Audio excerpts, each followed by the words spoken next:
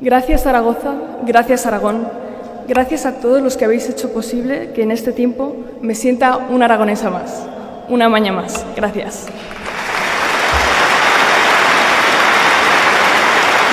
Ovación histórica a la princesa Leonor en Zaragoza, donde ha recibido el título de hija adoptiva y discurso fenomenal y magistral que ahora lo vamos a ver de la princesa Leonor con una gran ovación incluida, que desde luego en este acto oficial que ha tenido ella en solitario ha roto todas las expectativas y lo ha hecho nuestra princesa Leonor y futura reina de España de una manera magistral.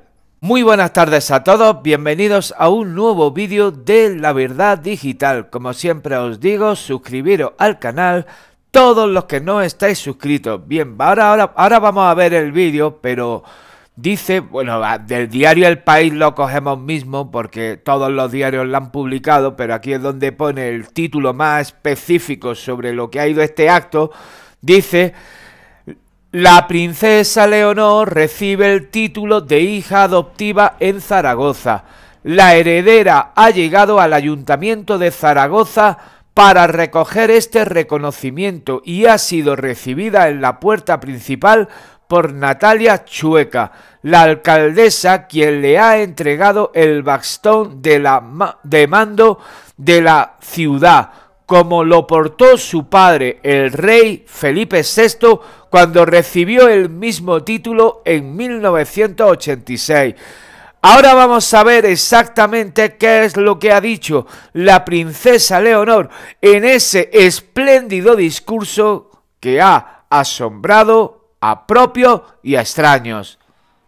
Presidente de Aragón, Ministra de Defensa, Presidenta de las Cortes, Delegado de Gobierno, Alcaldesa de Zaragoza, autoridades, señoras y señores. Saludo en especial a todos los aragoneses que me estáis arropando en esta mañana tan emocionante. Les confieso que cuando vine a Zaragoza el pasado 17 de agosto tenía muchas expectativas, en parte por todo lo que me había contado mi padre, aunque también sabía que algunas etapas no serían fáciles. Llegué a la Academia General Militar con ilusión y muchas ganas de aprender y conocer tanto a mis compañeros y compañeras de promoción como a las de las otras promociones con las que he compartido este año. Les puedo decir que lo que he vivido aquí supera con creces lo que pensaba hace 10 meses.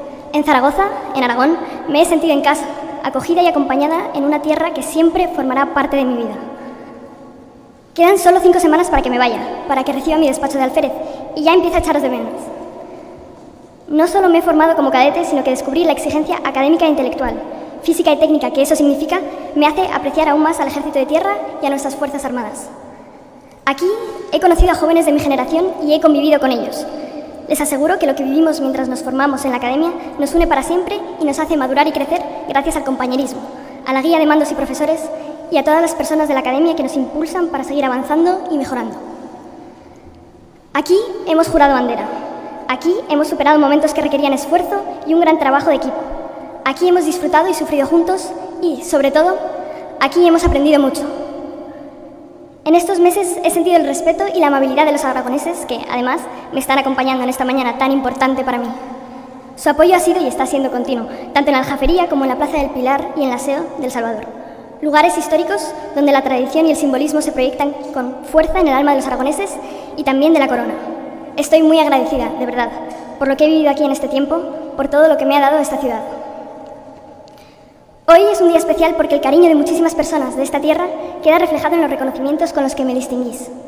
El título de hija adoptiva de Zaragoza, la medalla de las Cortes y la medalla de Aragón.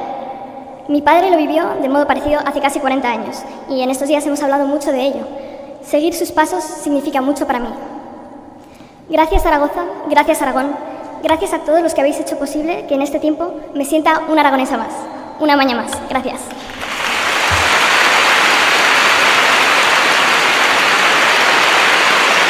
Bueno, pues como habéis visto a la princesa Leonor se le ve con una madurez, también tengo que decirlo, le noto en el, en el, en el acento a la princesa Leonor, en la forma de hablar, no sé si estaréis de acuerdo, pero la noto bastante emocionada, ¿no? como si se le quisiera quebrar la voz de la emoción o incluso me atrevería a decir como que quiere romper a llorar, ¿no? Por lo menos esa es la impresión que me da, ¿no? Pero no es para menos, ¿no? Después de una ciudad como la ciudad de Zaragoza y sus propios compañeros que, bueno, pues que la han acogido de una manera magistral, ¿no? Y me sorprende la verdad, la, la, madurez con la que actúa la princesa Leonor, la manera de expresarse, que desde luego nuestra futura reina, desde luego que ha dado una lección a su madre, en saber comportarse, en saber estar, en saber ganarse el corazón del público. Y, bueno, como todos sabéis, que, bueno, todos estamos esperando a que en un futuro la princesa Leonor sea reina de España. Que desde luego yo estoy convencido que lo va a hacer de una manera fenomenal, ¿no? Pero la verdad que el discurso de la princesa Leonor es un, discurso bajo mi punto de vista está claro, porque lo que yo pueda decir al final no vale para nada, o sí, depende, pero un discurso lleno de emociones, ¿no? De sentimientos, ¿no? Hombre, pero la verdad que la chiquilla ha estado fenomenal, ¿no? Le digo una la chiquilla de una manera, ya sabéis, de una manera pues cariñosa, ¿no? Ya sabéis que la princesa Leonor es una persona que a todos nos chifla, ¿no? como dicen, la leonormanía, ¿no? Bueno, pues este discurso yo creo que una imagen vale más que mil palabras, una lección magistral a Leticia en saber comportarse, en saber estar, en saber expresarse, en todo, en todo. Si es que Leticia no le llega a su hija ni a la suela los zapatos. Pero yo lo digo así como lo siento.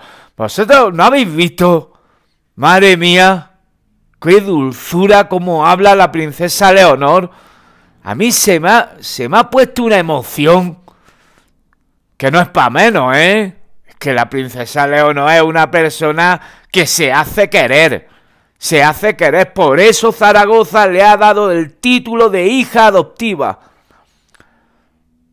Porque es lo mejor. Lo mejor que tenemos en la monarquía española es la princesa Leonor.